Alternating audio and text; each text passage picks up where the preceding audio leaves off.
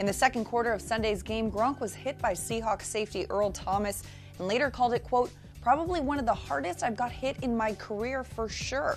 It was by a good player, a good fast player who's like a missile. It was a good clean hit, nothing against it. I just took it and it just knocked the wind out of me a little bit, that's all.